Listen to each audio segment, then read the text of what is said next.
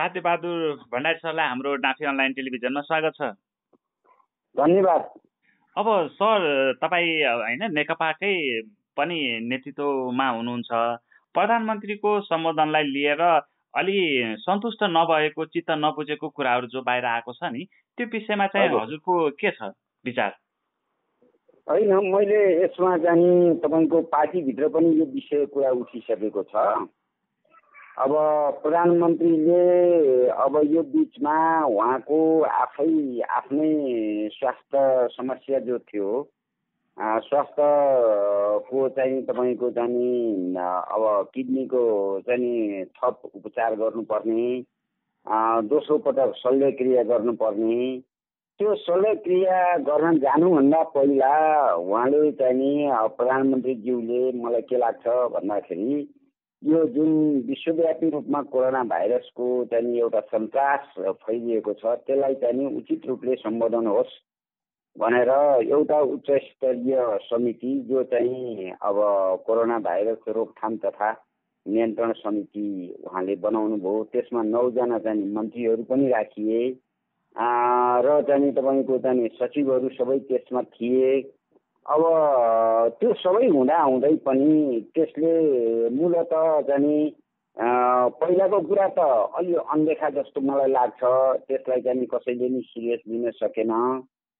जबकि माघ दस गते हाम्रो चाहिँ देशमा पनि कोरोना भाइरस भएको व्यक्ति फेला पर्यो चिनबाट आएको एकजना व्यक्तिमा त्यो देखा पर्यो तर त्यो कलिलै थियो। चिनबाट भर्खर आएका थिए। उनलाई चाहिँ पन्ध्र दिनभित्र नै क्वारेन्टाइनमा उनी ठिक भए। उनलाई चाहिँ तपाईँको उनी त्यहाँबाट डिस्चार्ज भए। उनले अरू मान्छेलाई सङ्क्रमण गराउने सम्भावना कम रह्यो होला म भन्ने मलाई लाग्छ। तर त्यसपछि चाहिँ जुन युद्ध स्तरमा हामीले काम सुरुवात गर्नु पर्थ्यो त्यो युद्ध स्तरमा काम सुरु हुन सकेन। र तर पनि अब ध्यान कता गएको जस्तो मलाई लाग्छ भनेदेखि अब आवश्यक पर्ने खास गरेर स्वास्थ्य कर्मीलाई आवश्यक पर्ने पर्सनल प्रोटेक्ट इक्विपमेन्ट भयो त्यसपछि ग्लोबल मास्क भयो त्यसपछि चाहिँ तपाईँको जाने थर्मोमिटर गनहरू भए यी सबै चिजको लागि चाहिँ नि मार्चको पच्चिस गते चाहिँ टेन्डर गएको देखिन्छ। अब मार्चको पच्चिस गते टेन्डर गयो टेन्डर जानासाथ चाहिँ तपाईँको उन्नाइसवटा कम्पनीहरूले त्यहाँ टेन्डर फारमहरू भरे अब रकमहरू बुझाए तर त्यसलाई चाहिँ सरकारले जब चाहिँ प्रधानमन्त्री आफै चाहिँ तपाईँको फागुनको बिस गते जब चाहिँ उहाँ चाहिँ टिचिङ हस्पिटलमा चाहिँ जानुपर्ने स्थिति भयो त्यसपछि तत्कालै उहाँको चाहिँ किडनीको अपरेसन हुने भयो त्यसपछि चाहिँ तपाईँको चाहिँ त्यो एउटा सबैले जाने कामना प्रधानमन्त्रीको स्वास्थ्य लाभको सबैले कामना गरिएको अवस्था थियो। अब तर पनि त्यो उच्च स्तरीय कमिटी त्योभन्दा पहिला प्रधानमन्त्रीले बनाइसकेका हुनाले त्यसले जुन स्तर र मात्रामा काम गर्नु पर्थ्यो त्यो स्तर र मात्रामा काम गरेन। जबकि त्यतिखेर चाहिँ तपाईँको चिनमा देखा परेको चाहिँ कोरोना भाइरस त्यहाँबाट चाहिँ तपाईँको चाहिँ दक्षिण कोरिया पुग्यो फिलिपिन्स पुग्यो त्यसपछि चाहिँ तपाईँको ताइवान गयो जापान गयो अब तपाईँको चाहिँ थाइल्यान्ड गयो पाँचवटा मुलुकमा फैलिसकेको थियो। त्यसपछि तत्कालै युरोपमा त्यो प्रवेश गरेर युरोपलाई तबाह मचाइरहेको अवस्थामा चाहिँ तपाईँको जाने जसरी जाने त्यहाँका राष्ट्रपति ट्रम्पले चाहिँ तपाईँको जाने एकदम सिसिटिभी गरेर कोरोना भाइरसलाई चाहिँ तपाईँको चिनिया भाइरस भनेर चाहिँ उनले ट्विटमा पनि लेखे। अब त्यस्ता खालका गलत समाचारहरूबाट चाहिँ तपाईँको प्रशिक्षित भएर पनि हुनसक्छ। नेपालको चाहिँ तपाईँको त्यो उच्च स्तरीय कमिटीले कुनै काम अगाडि बढाएन। बढाएन। तपाईँको यतिसम्म कि तपाईँको डेढ दुई महिनासम्म पनि त्यो चाहिँ अब स्वास्थ्य कर्मीहरूलाई आवश्यक पर्ने स्वास्थ्य उपकरणहरू र औषधिजन्य चिजहरूदेखि लिएर चाहिँ तपाईँको तालिम दिने कुराहरूदेखि लिएर त्यसपछि चाहिँ स्वास्थ्य कर्मीहरूलाई तालिम दिने स्वास्थ्य कर्मीहरूलाई चाहिँ तपाईँको बिमाका कामहरू गरिदिने स्वास्थ्य कर्मीहरूलाई थप भरण पोषणको लागि व्यवस्थापन गर्ने र मूलत चाहिँ अस्पताल तिन प्रकारका छन् हाम्रो देशमा। एउटा सरकारी अस्पताल छ अर्को चाहिँ तपाईँको चाहिँ मेडिकल कलेज सत्रवटा मेडिकल कलेजहरू छन्। त्यसपछि चाहिँ निजी अस्पतालहरू छन्। त्यो सबैमा उपचार हुन सक्ने व्यवस्थापन गर्नको लागि जुन खालको कदम त्यो अवधिमा चाल्नु पर्थ्यो त्यो अवधिमा चाल्न सकेन भन्ने मलाई लाग्छ। भन्नाले सर म एउटा कुरा जोडिहाल्छु है। यसमा जस्तो कि यो जनगुनासो भनेको विशेष गरेर यो कोरोनाको सम्बन्धी स्वास्थ्य सामग्री खरिदमा जो भ्रष्टाचार भयो नि जनगुनासो मात्रै नभएर अन्तर्राष्ट्रिय स्तरमा पनि नेपालमा भ्रष्टाचार हुँदो रहेछ भन्ने जो बुझाइ फैलिरहेको छ नि यो विषयमा चाहिँ तपाईँको दृष्टिकोण के छ? अब के हो भन्दाखेरि किन गरेन त भनेर हामीले समीक्षा गर्नुपर्छ। मैले प्रधानमन्त्रीलाई आह्वान पनि गरेको छु कि त्यसको समीक्षा होस्। मलाई के लाग्छ भन्दाखेरि भ्रष्टाचारलाई केन्द्रबिन्दुमा राखेर तत्कालीन चाहिँ तपाईँको चाहिँ जुन उच्च स्तरीय समितिका संयोजक नै त्यसमा गाँसिनु भएको छ स्वास्थ्य मन्त्रालय त्यसमा गाँसिएको छ। मुख्य कुरो चाहिँ त्यतिखेर काम नगर्नुको मूल कारण चाहिँ भ्रष्टाचार गर्ने स्रोतहरू कहाँ कहाँ भेला पर्छ? भ्रष्टाचार जन्य काम गर्नको लागि अनियमितता गर्नको लागि कुन कुन स्रोतबाट जाँदाखेरि हामी चाहिँ तपाईँको चाहिँ सुरक्षित हुन सक्छौँ? भन्ने कुरामा नै बढी ध्यान केन्द्रित गरेर हुनाले त्यतिखेर त्यतिखेरको अवस्थामा चाहिँ त्यो कमिटीले कुनै कामहरू गरेन। गरेन गरेन र परिणाम त चाहिँ तपाईँको उन्नाइसवटा चाहिँ कमिटीले उन्नाइसवटा चाहिँ विभिन्न फर्महरूले अब चिनबाट होस् अथवा बाहिरी कुनै देशबाट होस् स्वास्थ्य उपकरण ल्याउने कुराको चाँडो बाँधो चाहिँ तपाईँको मिलाएर जानुपर्ने ठाउँमा तत्कालै त्यो पनि हप्ता दिनभित्र गर्नुपर्ने ठाउँमा दुई दुई महिना त्यसलाई लड्काएर त्यसपछि तिन घन्टाभित्र नै गर्ने भनेर जुन काम भयो र बाहिर जाने के देखा पर्यो त भन्दाखेरि एक अरब चौध चौबिस करोडको सामान खरिद गर्दाखेरि पचपन्न कुरो करोड रुपियाँ चाहिँ भ्रष्टाचार जन्ने गतिविधिको लागि सम्बन्धित कम्पनीले छुट्याएको कुरा बाहिर चाहिँ सार्वजनिक हुन आयो। त यसले के देखाउँछ भन्दाखेरि सम्बन्धित कम्पनी र तपाईँको जाने हाम्रो उच्च स्तरीय यो कोरोना भाइरस चाहिँ तपाईँको जाने नियन्त्रण तथा रोकथाम समिति तथा स्वास्थ्य मन्त्रालयको जुन खालका त्रिपक्षीय गठबन्धन छ त्यो त्रिपक्षीय गठबन्धनलाई अहिले प्रधानमन्त्रीले भत्काउनुपर्छ। र किन त भन्दा प्रधान त्यो त प्रमाणित कुरा प्रधानमन्त्रीले नै के गर्नुभएको छ भन्नुहुन्छ भने भ्रष्टाचार जन्य गतिविधि भयो। यो बारेमा भन्ने कुरा चिनमा भएको एकजना व्यापारी जो नवीन विकले तपाईँको चाहिँ आफ्नो एउटा स्ट्याटस सानो एउटा आदि आदि चाहिँ पान्नाको चाहिँ तपाईँको चिठी लेख्न साथ त्यो सम्पूर्ण दुई महिनादेखि बुनेको भ्रष्टाचारको सम्पूर्ण जालो भताभुङ्ग भयो त्यो तासको घर जस्तो भएर बालुवाको घर जस्तो भएर निच्यान्न भयो र प्रधानमन्त्री आफैले हस्तक्षेप गरेर त्यो चाहिँ तपाईँको जाने त्यो टेन्डरलाई आफैले रद्द गर्नु पर्यो। त यो परिस्थितिले के देखाउँछ भन्दाखेरि भ्रष्टाचार जन्य गतिविधि भएका छन्। हामीलाई अहिले खाँचो के हो त भन्दा त्यसमा को को मुछिएका छन्? तिनीहरू अहिले सत्तामा छन् कि बाहिर छन्? र तिनीहरूको चाहिँ तपाईँको चाँडो बाँडो किन त्यस्तो गरे? किन चाहिँ जनताको चाहिँ तपाईँको चाहिँ स्वास्थ्यसँग खेलवाड गरे? र किन यस्तो चाहिँ विश्वव्यापी महामारी यस्तो फैलिएको बेलामा चार लाखभन्दा बढी चाहिँ महामारीको प्रकोपमा अहिले अमेरिकनहरू परेका छन् युरोपबाट चाहिँ लाख हजारौँ मान्छे मरेका छन् अहिले एक लाखभन्दा बढी मानिसहरू चाहिँ तपाईँको मृत्युको मृत्युवरण गर्न परेको छ। अमेरिकामा त अब तपाईँको लास लाग्ने ठाउँ पनि पाएको छैन। अब यो यति खतरनाक छ कि यो चाहिँ भाइरस तपाईँको चाहिँ कुनै पनि आफन्तहरूले गएर होइन डाँको छोडेर सम्बन्धित लास र अँगालो हालेर रुन सक्ने स्थिति पनि छैन। यस्तो खालको खतरनाक भाइरस को विरुद्ध एउटा चाहिँ राष्ट्रिय एकीकरण गरेर सम्पूर्ण देशलाई एकताबद्ध गरेर तपाईँको चाहिँ लड्न पर्ने ठाउँमा सम्बन्धित मान्छेहरू तपाईँको जाने भ्रष्टाचारमा मुछिसकेपछि प्रधानमन्त्रीले निष्पक्ष ढङ्गले त्यसको चाहिँ तपाईँको छानबिन गराउनुपर्छ र चाहिँ त्यो पार्टीको तर्फबाट पनि छानबिन गराउनुपर्छ। त्यो उच्च स्तरीय चाहिँ तपाईँको जाने सरकारी संयन्त्रहरूबाट पनि छानबिन गराउनुपर्छ र दोषी देखिएका मानिसहरूलाई तत्काल चाहिँ कारवाही गर्नुपर्छ र त्यो सख्त कारवाही गर्नुपर्छ। अब जस्तो कि होइन अब अन्तर्राष्ट्रिय जगतले पनि नेपालमा भ्रष्टाचारको बिगबिगी छ भन्ने कुराहरू होइन विभिन्न सञ्चार माध्यमहरूबाट पनि खबरहरूबाट पनि हामीले बुझिरहेका छौँ। अब यस्ता कुराले चाहिँ नेपाललाई सहयोग गर्ने भावी होइन भविष्यमा जो सहयोग गर्ने तिनीहरूको जब मनसाय हुन्छ नि त्यसलाई चाहिँ कस्तो असर पार्छ? त्यो कसरी बुझ्नुहुन्छ? होइन अब अहिले त तपाईँको विश्वव्यापी एउटा गाउँको रूपमा रहेको छ विश्व भनेको सञ्चार जगतले त्यस ठाउँमा पुर्याएको छ।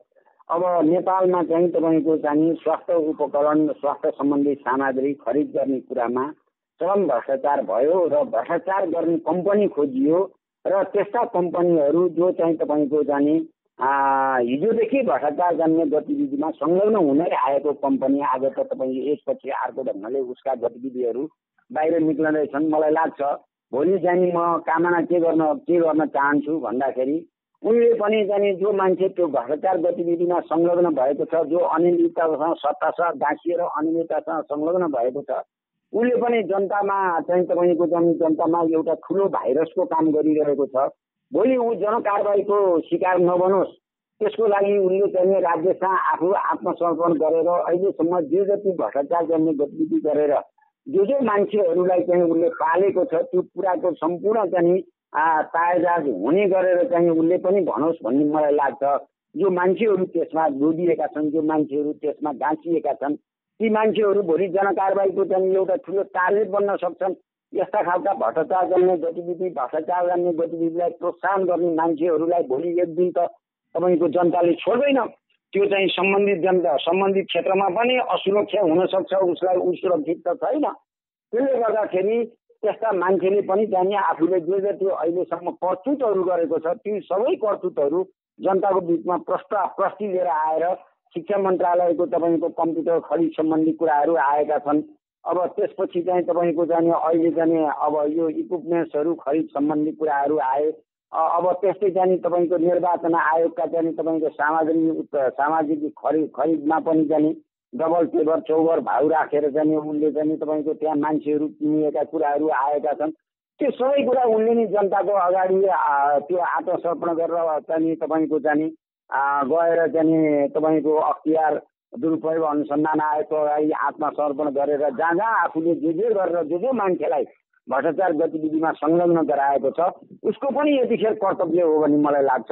त्यो कुरा उसले पनि गरोस् भन्ने मलाई लाग्छ।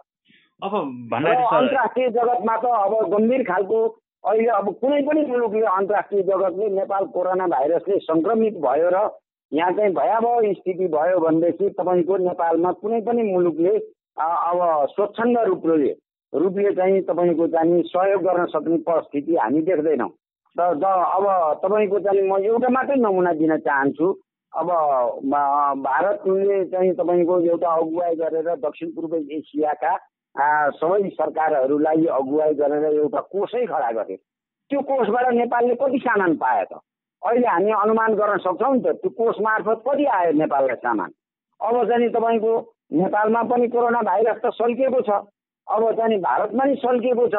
तर चाहिँ त्यो के हो त भन्दाखेरि ऱ्यापिड रेस्पोन्स टिम बनाउने भनेर भारतले पछिल्लो चरणमा जुन प्रस्ताव गर्यो त्यो प्रस्तावले नै के देखिन्छ भन्दाखेरि जसरी चाहिँ तपाईँको चाहिँ नेपालमा भूकम्प भएको बेला सैनिक टोली आएर उसले सम्पूर्ण नेपालको चाहिँ तपाईँको जाने आद्योपान्त तपाईँको भित्रभित्र घुसपेट गरेर चाहिँ यहाँको चाहिँ तपाईँको गतिविधि बारेमा चाहिँ उसले निगरानी राख्ने र त्यसलाई चाहिँ एउटा सुरक्षा संयन्त्र मार्फत चाहिँ तपाईँको नेपाललाई चाहिँ उ गर्ने गतिविधिमा चाहिँ संलग्न भयो। ठिक त्यस्तै गरी अहिले पनि कोरोना भाइरसको न्युबाट हस्तक्षेप निम्त्याउने र सैनिक इकाइ सुपर सैनिक इकाइ नेपालमा चाहिँ पदार्पण गराउने नेपालमा ल्याउने र कोरोना भाइरस संरक्षण के अरे जाने तपाईँको रोकथाम गर्ने नाममा भारतको सेना परिचालन गर्ने। यो खालको उद्देश्य त देखियो। किन त भन्दा त्यहाँबाट त स्वास्थ्य कर्मी पो पठाउनु पर्थ्यो। भारतले यदि चाहिँ चाहेको हो भने हामी स्वास्थ्य कर्मीहरू पठाउन सक्छौँ भनेर भन्न सक्थ्यो। इक्विपमेन्ट्सहरू चाहिँ तपाईँको चाहिँ उपकरणहरू पठाउन सक्छौँ भनेर भन्न सक्थ्यो। हाम्रो त संयुक्त कोष थियो हामीले संयुक्त कोषबाट पाउनु पर्ने हाम्रो अधिकारै हो।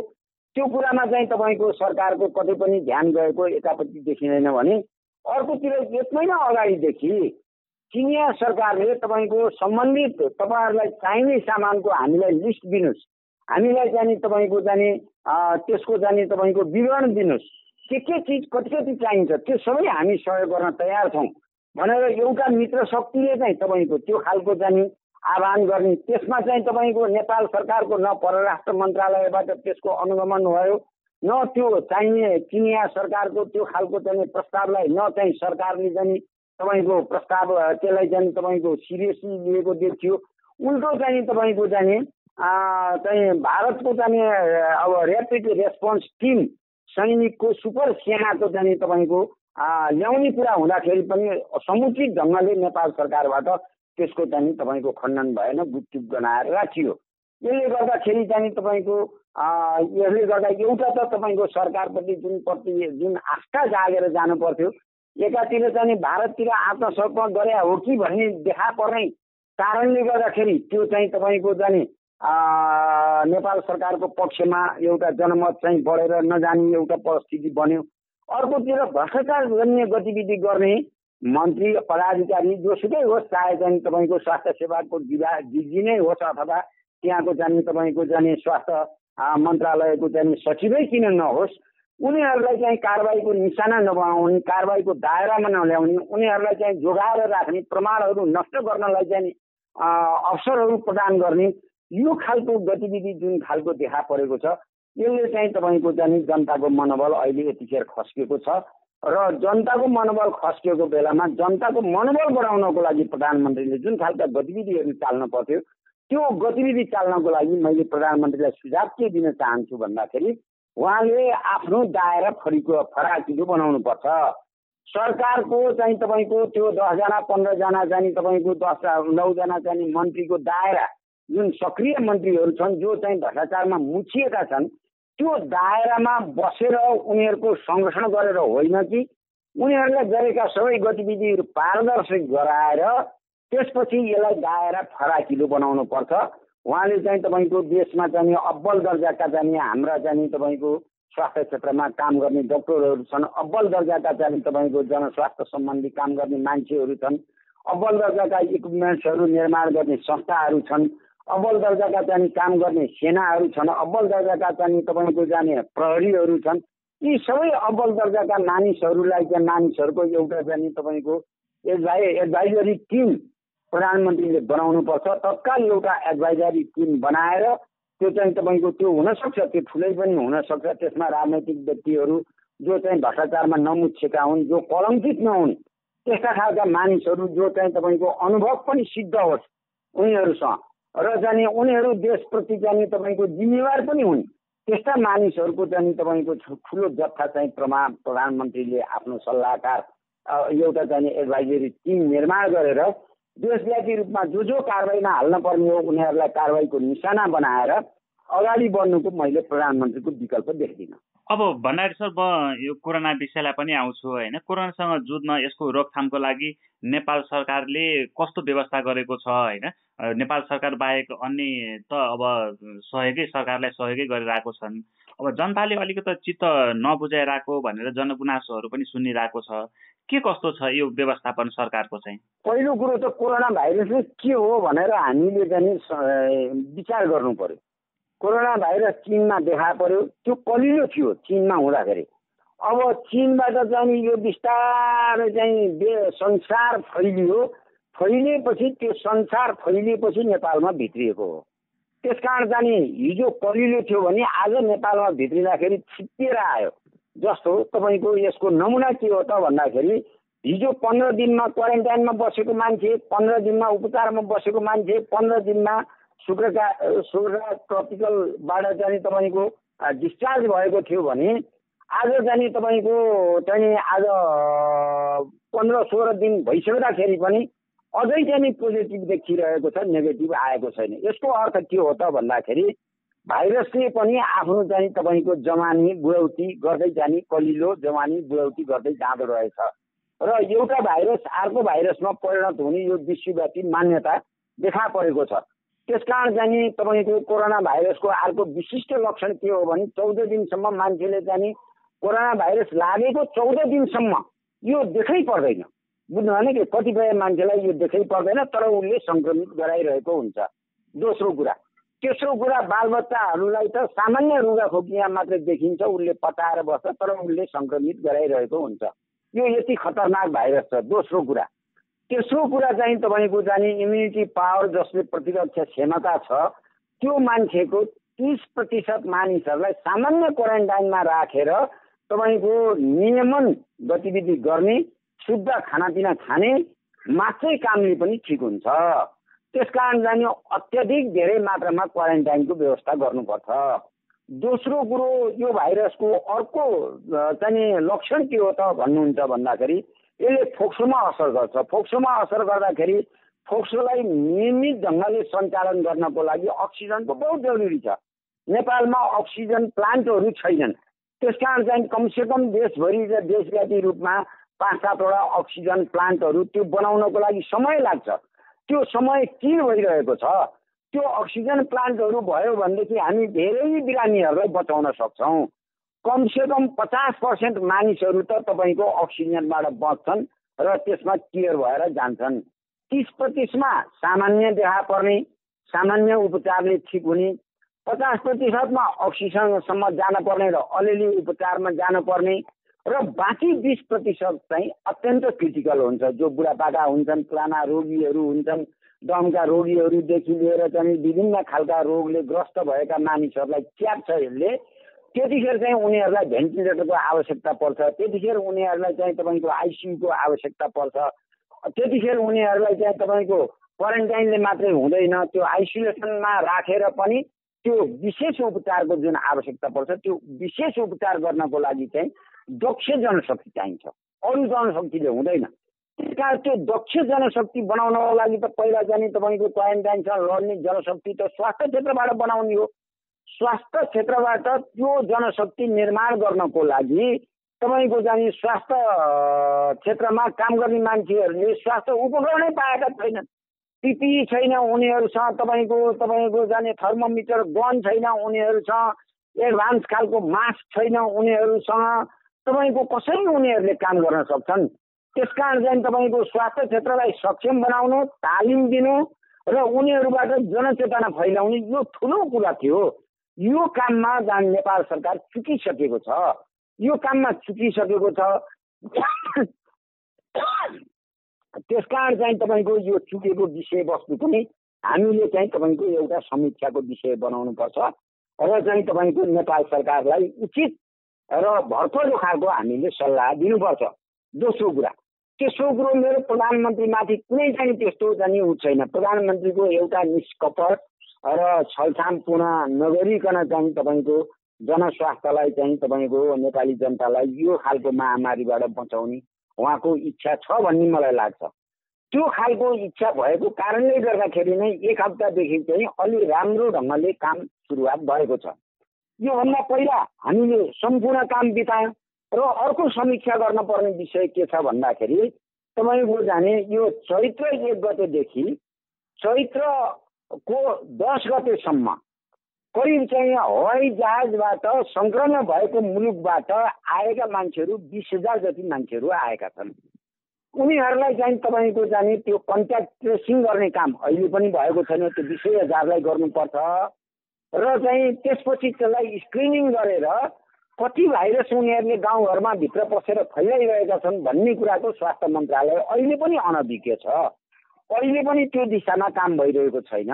जम्मा चारजना मान्छे तिन चारजना मान्छे एउटा चाहिँ तपाईँको दुबईबाट आएको चाहिँ कतारको प्लेनमा आएको एकजना युवती सहितका मान्छेसँग आएको कन्ट्याक्ट ट्रेसिङ गरेको छ।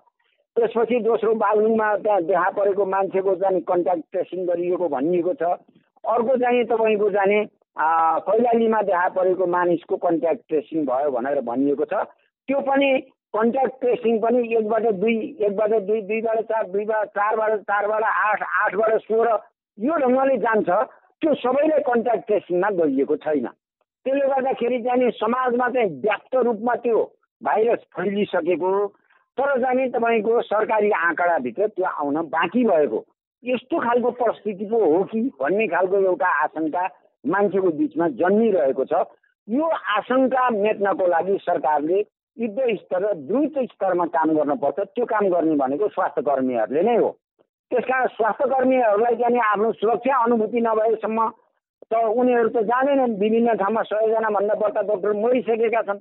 त यसले गर्दाखेरि स्वास्थ्य स्वास्थ्य कर्मीहरूलाई सक्षम बनाउनु उनीहरूलाई इक्विपमेन्ट पर्याप्त दिनु र अब त्यही अवधिमा यसरी बिस बिस हजार जति मान्छे चाहिँ तपाईँको एरोप्लेनबाट जाने नेपालमा भित्रियो भने अर्को चाहिँ तपाईँको जाने झन्डै एक डेढ लाख दुई लाख मानिसहरू चाहिँ तपाईँको खुला सिमानाबाट चाहिँ भारतमा सङ्क्रमित मानिसहरू पनि भित्रिए भन्ने कुराको प्रमाण छ।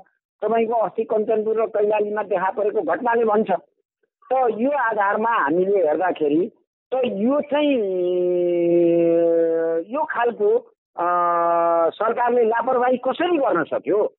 जबकि चाहिँ तपाईँको सरकारले नै निर्णय के गरिसकेको छ भने पच्चिसजनाभन्दा बढ्ता चाहिँ तपाईँको आवागमन नगर्ने बिहा भोजहरू नगर्ने सम्पूर्ण जाने कार्यक्रमहरू स्थगित गर्ने जात्राहरू नगर्ने भनेर निर्णय गरिएको छ। सम्बन्धित मुलुकबाट चाहिँ कोरोना भाइरस सङ्क्रमित मुलुकबाट आएका मानिसहरूलाई चाहिँ तपाईँको जाने उनीहरूको चाहिँ तपाईँको उनीहरूको आवत जावत बन्द गर्ने भनेर निर्णय भइसकेको छ। यस्तो अवस्थामा ती मानिसहरूलाई ल्याउनको लागि त्यसको चाहिँ तपाईँको ती आएका मानिसहरूको नाम ठेगाना नाम नामेसी सबै खुल्ने गरेर रेकर्ड पनि नराख्ने आएका मानिसहरूको एउटा तपाईँको आउनलाई पनि निष्ठिक्री चाहिँ तपाईँको दिने र अनि त्यसपछि समाजमा निष्ठिक्री चाहिँ उनीहरूलाई चाहिँ तपाईँको भ्रमण गर्न दिने। यो खालको चाहिँ सरकारको चाहिँ यो खालको लापरवाहीको मूल्य चाहिँ तपाईँको गम्भीर रूपले नेपाली जनताले चुकाउनु पर्ने हुनसक्छ अब जस्तो विदेशबाट आएकाहरू जति छन् नि भण्डारी सर अब उनीहरूलाई राखेको क्वारेन्टाइन गरेर राखिएको ठाउँमा पनि अब सबै घुलमिल गरेर बसिराखेको होइन अब त्यस्तो अवस्थाहरू पनि विभिन्न रिपोर्टहरूमा हामीले देखिरहेका छौँ। क्वारेन्टाइन व्यवस्थापन किन गर्न नसकेको सरकारले चाहिँ? त्यही त सरकारले के गर्नु पर्थ्यो त भन्दाखेरि नेपाल भारत सिमानालाई पहिला नै सिज गर्नु पर्थ्यो सिज गरेर तपाईँको एरोप्लेनबाट आउनेहरूलाई सिजै जाने सरकारी क्वारेन्टाइनमा लिएर जाने नेपाल भारत जाने तपाईँको जाने जुन चाहिँ तपाईँको सिज गरिएको छ के पनि रिपोर्ट आयो भन्दाखेरि तपाईँको जाने त्यो थर्मोमिटर गनले जसको चाहिँ ज्वरो नापियो त्यो त तिन दिनदेखि बिग्रिएको गन पनि त्यहाँ प्रयोग भइरहेको रहेछ हेर्नुहोस्। तपाईँको जाने यस्ता जाने तपाईँको लापरवाही चाहिँ तपाईँको स्वास्थ्य मन्त्रालय अन्तर्गतबाट भएका कुराहरू पनि बाहिर समाचारमा सुन्नमा आए र हेल्थ डेस्कहरू जो राखियो भनेर भनेको थियो त्यो परिमार्जित थिएन।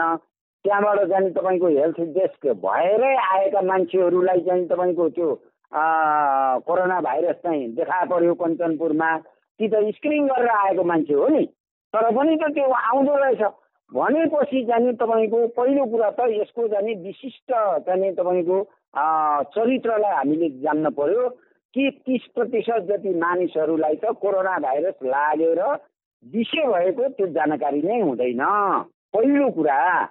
किन त भन्नुहुन्छ नि सङ्क्रमण उसले गराइराखेको हुन्छ तर उसको इम्युनिटी पावर सिस्टम बलियो भए हुनाले उसले त्यसलाई पचाइरहेको हुन्छ। त्यस कारण तिनीहरूलाई स्क्रिन गर्ने कसरी? त्यसपछि भएका मान्छेहरूलाई सुरक्षित वातावरण बनाउने कसरी? अब जहाँसम्म सरकारले चाहिँ तपाईँको सेल्फ क्वारेन्टाइन भनेर भन्यो नेपालमा त सेल्फ क्वारेन्टाइन चाहिँ हुन सक्ने सम्भावना थिएन। किन त भन्दाखेरि दिल्ली बम्बई कलकत्तामा काम गर्नेहरू त सबै मजदुर क्षेत्रमा काम गर्ने हाम्रा दाजुभाइहरू हुन्। उनीहरूलाई सेल्फ क्वारेन्टाइन कसरी चाहिँ मेन्टेन गर्नुपर्छ भन्ने नै चाहिँ उनीहरूलाई ट्रेनिङ छैन तालिम छैन भने कसरी त्यो गर्न सक्छन्? पहिलो कुरा त। दोस्रो कुरा चाहिँ त्योभन्दा पनि गम्भीर कुरा त के भने प्लेनबाट आएका मान्छे छुटेर गए क्या आरामसँग तपाईँको खरिपाटीमा राखेको क्वारेन्टाइन चाहिँ तपाईँको त्यहाँ चाहिँ मान्छे कोही पनि छैन। तर जाने एयरपोर्टबाट जाने चैत गतेदेखि चैत दस गतेसम्म आएका मान्छे त सरासर गएका छन्। त्यस कारण चाहिँ यहाँ नेपालमा देखा परेको छ भने चैत एक गतेदेखि दस गतेसम्म आउने मान्छेहरूलाई देखा परेको छ। भनेपछि जाने तपाईँको जाने यो व्यवस्थापनमा चाहिँ सरकारको ध्यान पुगेको छैन। त्यो ध्यान पुर्याउनको लागि नै तपाईँको प्रधानमन्त्रीले आफ्नो ट्र्याक चेन्ज गर्ने दायरा फराकिलो बनाउने र स्वास्थ्य सम्बन्धी जानकार मान्छेहरूको टिम बनाउने राष्ट्रिय व्यक्तित्वहरूको चाहिँ तपाईँको चाहिँ एडभाइजरी चाहिँ बोर्ड बनाउने काम गर्नुपर्छ। सरकार चाहिँ चारजना चाहिँ त्यो वरपरका मान्छेसँग मात्रै भर परेर सरकारले चाहिँ सरकार अगुवाई सरकारले नै गर्नुपर्छ। अरू कसैले अगुवाई गरेर हुँदैन। त्यस कारण प्रधानमन्त्रीलाई हामी सबैले आह्वान गर्नुपर्ने कुरा के हो त भन्दाखेरि एडभाइजरी टिम तपाईँले बनाउनुहोस् होइन? र यसमा विशिष्ट सेवा गर्न सक्ने मान्छेहरूको एउटा विशिष्ट टिम बनाउनुहोस् त्यसलाई देशव्यापी रूपमा रन गराउनुहोस् अध्ययन अनुसन्धान गराउनुहोस् त्यसपछि जनतालाई चाहिँ प्रचार प्रसार गराउनुहोस् स्वास्थ्य कर्मीहरूलाई चाहिने इक्विपमेन्ट्सहरूको पर्याप्त चाहिँ व्यवस्था गर्नुहोस्। त्यसपछि चाहिँ तपाईँको तालिमको व्यवस्था गर्नुहोस्। स्वास्थ्य कर्मी पुलिस तपाईँको चाहिँ प्रहरीदेखि लिएर सेनालाई चाहिँ जसले मारमामा खट्छन् उनीहरूलाई अतिरिक्त भत्ता अतिरिक्त तलबको व्यवस्था गर्नुहोस्। आदि इत्यादि काम गर्नको लागि चाहिँ त्यो काम गराउनुपर्छ भन्ने मलाई लाग्छ। हस् महत्त्वपूर्ण विचार र समय दिनुभयो। त्यसको लागि साथीबहादुर भण्डारी सरलाई धेरै धेरै धन्यवाद। हजुर धन्यवाद सर।